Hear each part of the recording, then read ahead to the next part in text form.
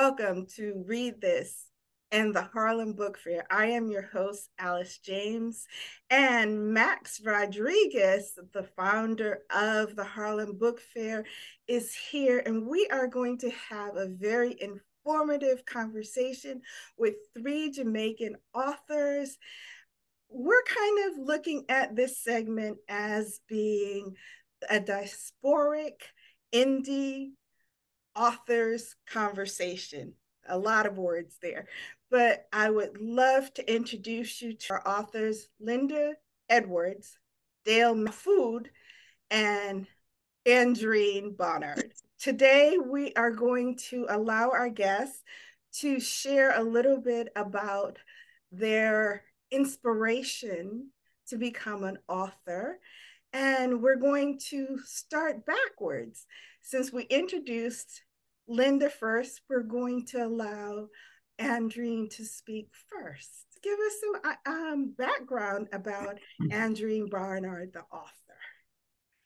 Okay, first of all, thank you so much for this wonderful opportunity to be among friends.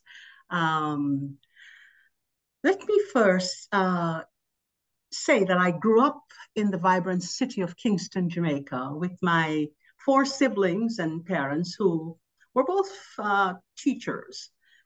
And uh, watching both my parents and my oldest cousin Lou tell stories and sing gave me permission to explore my imagination.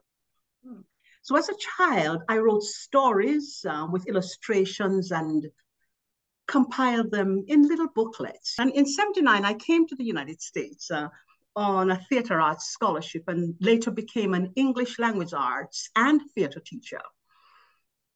I am a published author, that's why I'm here, with a, a literacy fiction series and nonfiction books about student resilience, full-length historical cultural dramas and poetry. And I frequently perform praise poetry. Um, in 2019, I retired from the public school classrooms to establish Literacy Gateway Institute, where I train parents to become teachers and develop curricula and wellness tools. I'm an alumna of uh, the Lincoln Center Education Learning Labs for Artists and Educators, and I'm a member of the International Women's Writers Writing Guild and the Association of Caribbean women writers and scholars. And, and to relax, you know, I, I draw and I paint and I play nyabingi and djembe drums and I'm learning to play the guitar. I'm writing stories just for anyone who wants to learn about Jamaican history and culture and the religious freedoms that we enjoy. I think that was, I told a mouthful. Yes, already. you did. Dale, would you would you tell us a little bit? Certainly, certainly. And I am honored also to be here with you, Alice, and with you, Max, and of course my friends Lynda and uh, Andrene. You can see we have each other's books behind, thick as thieves. Uh, so with an emphasis on the no. Uh, so I, I um, the first thing I remember writing was in high school and I wrote a, a, poem about Rastaman, and I had no clue what I was talking about. But you know, that was back in the 70s when Bob Marley and everything. So, and then from there, I remember um, right, I, I would end up writing a lot of songs, many of them worship type songs. And it wasn't until I went back to get my master's and took some creative writing classes that I really got into poetry. And I wrote a really nice short story about uh, sort of a auto fiction sh- short story about me growing up in Jamaica. And then probably around 2008, 2009, we were sitting around the dinner table with my family and my mother. And my mother would always tell us stories about growing up in Jamaica in the country parts mm-hmm. and uh, with a very bad father. Uh, and so uh, eventually I said, one night, I said, listen, I'm going to write a novel about this. And everybody said, yes, you have to write a novel. So that's where my, my novel, When Trees came from. It took me 13 years uh, for various reasons, but uh, that's kind of the inspiration for my writing. And Lynda, um, would you mind sharing your inspiration and a little bit about your background? Certainly. Thank you. Thank you very much for inviting me. I, I'm really honored to be in everybody's presence and to have this opportunity. So thank you very, very much. Eight generations of my family are buried on the island of Jamaica. My roots are planted deep within Jamaica and the Caribbean. Replanted roots that came from Portugal and Spain during the Spanish Inquisition. And they mixed with the English, the Scottish, the African, the Chinese. And this commingling created a history. And I've come to realize growing up in the Caribbean that the society that we created, um, steeped in one love, this society of inclusion is a lot more complex than the history books would like us to believe. And I find that rich fodder for my imagination. So I tend to write about Jamaica. My first two books were based in Jamaica. My third book um, is based in Cuba. And my fourth book is based in Barbados, Jamaica, and South Carolina.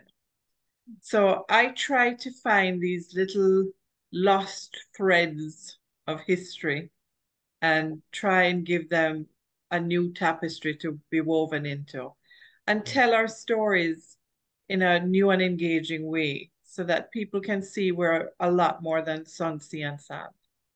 Amen. Yeah, very nice, very nice.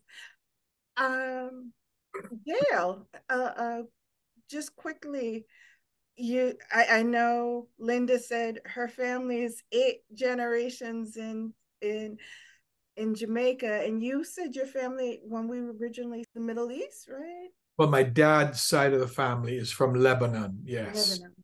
And then my mom's side of the family, again, similar to to uh, Lynda, in in Jamaica for many many generations, mostly of a Scottish background, but mixed mixed British, basically. Yes. And very interesting. And that's part of the reason I wanted to do this too. It's just, again, that out of many, one um, conversation. So there's some very interesting names to your books. I would like to start with Dale and shared a little bit that your book came out of your family story, When Trees Fall. Okay, so when trees fall, there was, you know, there's there's a, a Caribbean cotton tree in Jamaica it, that was on my grandfather's property. And it, by the way, everything is really fictionalized in the story. I've just kind of taken the seeds from my family. But um, in the story, this cotton tree is there now. Uh, Caribbean cotton trees are humongous with humongous roots, mm-hmm. and it's said this tree was said to have been the tallest one and the oldest one in the Caribbean. And um, in the beginning of the novel, it's fallen, and in the beginning of the novel, my grandfather is is at they're at his grave. So um, really, throughout the novel, the tree is an important thing that keeps coming up and uh, of course he he's it's fallen he's fallen and the story really is about him in so many ways so it's about i guess you could say his falling and the mm-hmm. fallout from his his way of life and how it affected the three main characters um oh, jump to andrene and Andrene, you have two books that are centered around Jamaica. Long Walk to, to Cherry Gardens. Long Walk to Cherry Gardens. And of course, No Life in Olympic Gardens. Yes. So that's my garden I'm working on, yes. And um, well, I should I should call it a series because I have a sneaky suspicion something else is coming after the, the other one, but that's a whole nother another piece. Um, uh, it's the story of a young boy. I, I really like writing stories about boys um, because I enjoy teaching boys. I, I believe that boys uh, tend to need more lap time. And so I am very passionate, and they were always very humble in my classroom. I really, really, truly enjoy teaching them. And so I wanted to write about them and for them as well.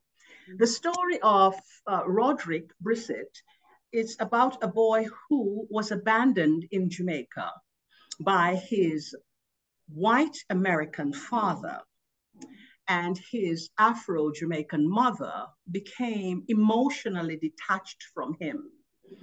Um, in, in Jamaican parlance, we would say, the man gone left her. And so she became emotionally detached from the little boy, sends him away to Kingston uh, to be with her sister, who um, relegates him to a life of servitude and he becomes a little shop boy. And at a school age, he should be going to school. She denies him an education while she sends her uh, boys to school. Uh, that's in book one. Uh, he's really struggling to, to find his way. And then, then in book two, he's kicking doors down now because he is trying to find himself and his identity, who he really is. And then, of course, he is bombarded and, and uh, taken by family secrets in book 2 mm-hmm. And, you know, all hell breaks loose. Okay. And um, so he's on a physical journey in Long Walk to Cherry Gardens, but mm-hmm. he's also on a metaphoric journey, a journey to find himself. Okay. And, and, Lynda, I saw at your interview as you were speaking about your inspiration for Redemption Song, and that was formed through nightmares. That's an interesting inspiration for a book. Mm-hmm. Nightmares, please explain. Well, as a child, I always suffered from nightmares. And um, I suffered a series of losses. Uh, an uncle that I was close to, my father, an aunt that I was very close to, all died within the space of three years. And I realized that I was at the point in my life where I was descending the hill instead of climbing. And I was afraid of losing the thing that meant the most to me. That was my rock, which was my husband. And I kept having these nightmares of, of him passing away and my very domineering family walking in, packing me up, taking me away from this incredible life that I created with him and taking me back to Jamaica. And the thought of having to go back to that control where every decision about my life was made by committee, I, I just, I didn't want that. So these nightmares just kept coming. And finally, he got frustrated because I kept waking him up every time I had one. And he said, you know, there's obviously something on your subconscious. Just write it down. Just get it off your subconscious, put it on paper. Which I did. And that resulted in the first chapter of Redemption Songs. So the Redemption Songs is a fictional but contemporary telling of societal life in Jamaica. And it's about taking responsibility for oneself, righting wrongs, you know, recognizing duty, honor, responsibility, and, you know, realizing that themes of equality, loyalty, there's, these are all unifor- universal themes that are important to any society. But it's also the deeper message of love and loss and finding love again, even after betrayal, that makes redemption songs uh, more of a enthralling read, I think. Okay, so let, let's get into who, Lynda, who are you inviting in in the book? Wow, that's a great question. Um, redemption songs. I honestly thought that I was just writing for family and friends. Um, I couldn't find anybody to publish it. I couldn't find anybody interested in it. So I said, you know what, I'll just write it for, for friends and family. And I loved getting the emails and the telephone calls. Oh, I know who you're talking about there. I know who you're taking a dig at with that one. I mean, that that was fun. But then I I got a I started getting emails from people who read the book and it meant something to them. They felt something reading it. And I thought, like, maybe I have something to say And I remember getting an email from a lady who I later found out was was African American. And she used to go to Jamaica quite a bit. And she stopped going because of all the negative publicity that Jamaica was getting and the crime and this and that. She just didn't feel comfortable going anymore. And she she emailed me. She said, "I I know that road that you're talking about that Josephine traveled. I've been on that road. I remember it vividly from your description." And I was so moved by that. And she explained to me why she stopped going to Jamaica and, and all of that. And I said to her, I, I remember emailing her back and saying, please go back. Please go back and drive that road again. Drive it with Josephine sitting next to you and see it through her eyes and enjoy it and feel the love that she feels for her for her home. And she did it. she went wow. to Jamaica. She she she did the drive and she came back and she said, I'm going back every year. And you know, if I can if I can do that and express my love for my island and my home through my words on paper, then yes, I have something to say. Of course. Anyone else want to share? I, I know, Andrene, you said it's for boys. Are are they little Jamaican boys? Are there boys all over the world? Oh, boys all over the world. My, my classroom have always looked like the United Nations, you know, and so writing for boys, they were experiencing the same thing. The parents had the same anxieties uh, for all their children. And so I really enjoy writing for little boys, about little boys, but more especially, I, I wanted to um, introduce the world to uh, a culture and uh, a history where my books examine the intersection of both the conquered and and and, and the conquerors. Mm-hmm. You know, I wanted to talk about what I was experiencing, what my, my, my students were experiencing here in America, the whole idea of race and class and colorism and culture, yeah. you know, resistance and triumph. And as Lynda says, you know, the whole I, idea of the universality of the themes that I, I explore in the work, it speaks to um, what these young people are experiencing. But I also wanted um, my books to resonate with um, just about anybody. It's, they're human stories. Mm. You know, again, about those themes, some themes that um, uh, Lynda shared earlier about loyalty, betrayal, love, friendship, hope. Mm-hmm. And uh, everybody wants that. Or let me just not say the everybody, but most people, I believe, want that. And I, I wanted to just respond to the muses and to share that with the world. And um, Dale, is there any particular people? So when I first started out again at the dinner table, my family, that was the the audience. I wanted my my children and you know family to be able to read and get a feel for what it mm-hmm. was like to grow up in the country parts of Jamaica and so that was the first audience and as i'm writing it uh, i'm thinking wow this is good for jamaicans as well because i have jamaican the three main characters come from different parts one is uh kaylin she's from a great house in jamaica large property sharp. He's about 30 years old. He's he's african jamaican and he's the foreman for this property and he lives in a very poor village.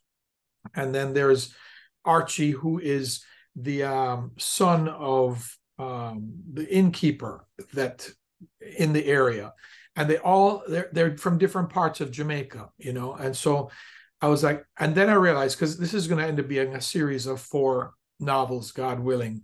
And I realized that with every novel, I'm going to explore a different ethnicity slash socioeconomic section of Jamaica. Mm-hmm. And I once heard, I don't, I cannot track down who said it, but mm-hmm. they said everybody, everyone lives in their own Jamaica. And so when they said that, I was like, that's exactly what I'm trying to do. I'm trying to give Jamaicans a taste of the other Jamaicas so they can go, you know, they can relate. They may not, yeah. you know, in some way they can relate. And it was, I would love it to unify even in, in a greater way Jamaica. And then mm-hmm. finally, of course, everybody wants to write their novel for the world. But mm-hmm similar to what some things that were said already, I think believe Lynda had said something. I, I want people to realize that Jamaica is more than just sand and beach and reggae and dance hall and all those things are great. But there's yeah. so much more complexity and beauty. The tapestry of Jamaica is incredible. So I want people to be able to experience that both from a historical point of view and just Jamaicans as we are. Mm-hmm. Max, I'm going to shift down to you for some of your questions and insight and what you want to share or ask. Sure. So, so the theme is, um, you know, out of many, out of, out of, what is the theme again, please? Out of. It, it's the slogan for Jamaica. Out of um, many, one people. Out of many, one people, and then Dale's writing uh, speaks to uh, uh, informing readers of the idea of there are many different Jamaicas. So, so what what is that? What is that contradiction? Because that lands for me as a contradiction. Um, and and how you know how do we live?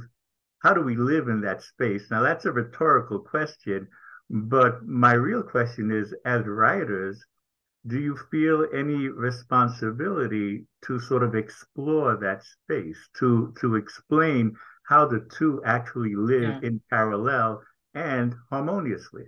Right. If i if i may take that because that's actually the theme of my second book friendship estate. And in friendship estate i look at colonial history. Um, colonialism is the greatest transgression humanity has ever perpetuated on itself. Yet, because of it, we have the opportunity to create the greatest civilization humankind has ever known. And in rewriting this dark period in Jamaica's history, mm-hmm. what I tried to do was to build a bond so strong that it tears through readers' hearts and breaks this cycle of racism and division. By showing in Friendship's Estate what might have been, I tried to point the way to what might yet be. You know, I, I like to say that Jamaicans never refer to themselves as anything but Jamaicans because we are impressive enough with that name alone. And I think what we have managed to do as a society is to do what very few have been able to do. Use colonialism as a bond instead of what it was meant to do, which was to divide by race and class. What happened during the 1800s was that the discarded of the world were brought to the Caribbean. And then we became the disregarded. Yet we were able to create an incredible society where we all sound the same. Mm-hmm. We have this beautiful society of inclusion steeped in one love with its own musical soundtrack and cuisine. We all did that. It wasn't one race or another, it was all of us. The discarded, the disregarded became one out of many people. Very good. Wow. Dale, who, who, wants to, who, wants to follow up on that? I know. My books um, are, she talked about the 1800s. I'm looking at the 60s and the 70s. Um, when we became post um, uh, slavery society um, with all of the ills and all of the vestiges of uh, the dastardly acts of cruelty that were imposed on us. And, and as um, Lynda stated, that, um, you know, uh, I, will use a, a, very important uh, uh, saying in Jamaica uh, by the Honorable Dr. Louise Bennett Coverley. She say, we take, we hand, turn and make fashion, you know? you know, and and um, that's exactly what we did. You know what I'm saying? And yeah. we, we, take every whatever them them give we basket for carry water, but somehow we find a way for patch up the whole them and, and make it work so that we can become whole. You see, yeah. and um, so that is that is just something so very special uh, about um, the, the culture. And so I look at the 60s. Here we are coming out of the 60s, and we come up with this fabulous motto out of many, many one, one people. people. But the irony of the whole thing is we were like 92% African at the time. And so the other 8%, we were looking at all of the other, other groups you know, all of the uh, the Asian groups, you know, the, the Indians, the Chinese, and uh, we're looking at, um, of course, the British, mm-hmm. um, Scottish. Uh, we talk about our Scottish heritage and our uh, French nobility and all of that sort of thing. We, we, we love to celebrate that, looking for that little drop of blood. And it's, it's, it's, it's a reality, you know? Um, and so we that was an ideal that um, the Jamaican government and the powers that be wanted, even though it was 92% Black and the 8%, but there was something about that melting of the people together. Yeah. Um, so in post-slavery, um, in, in, uh, in the 60s, we were looking at the independence from, from, from Mother England, we were creating our own dance theater company to express all of, of, the intersection of all of the different cultures, you know, our African, our Yoruba dance, yeah. you know, um, our, our, our mother, modern um, dance with uh, Professor Rex Nettleford and, and, and Eddie Thomas and those people who came together to look at the mento music. And, and then, of course, we had the ska and the, then the reggae music. It, it's just such a beautiful time. But then what I want to share here is that politics politics. So we have to talk about that, Lynda. We have to talk about that, Dale. We have to talk. Politics is our breath. No. Like religion, politics is our breath. And so um, politics becomes a, a, a, huge backdrop in, in my stories, my two stories. Um, the, the country, country's coming of age, we are trying to pull away from from from Britain, which we have still haven't quite done yet, but uh, we're trying to pull away from it, and um, and that's that's what my, my two books are dealing with: how we got over that period of, of, of all yeah. those hurts, and we still struggle. We still struggle. I'm not, I, you know, we still struggle, but so much beauty comes out of our struggle again, the music that we have given, the, the, the artists that have taken over the world, you know, the imagination of the world. And our, our, our writing, Andrene, we were talking about this last night, our writing, you know. Yes. Great African orators. We in the Caribbean are in a very unique position because we had great African orators who were given from Europe our European heritage, pen and paper, yes. to record the history of an incredible people mm-hmm. that struggled and not only survived, but thrived. And the three of us have the privilege of telling those stories. Absolutely. Absolutely. And and I, what's important is is for us to be able to come together like the three of us have come together and and and and and we really saying okay we need to be a force to be reckoned with oh, we have literature we have language you know um, we have written works of literary merit but who's looking for us mm-hmm. Thank you for watching part one of Out of Many, One People, Jamaican authors and Jamaican stories. Join us next time for part two when host Max Rodriguez will guide the conversation deeper into speaking truth to power with historical fiction. We would love for you to pick up our author's book so you will be ready for part two. Until next time, I am your host, Alice James, and this has been Read This.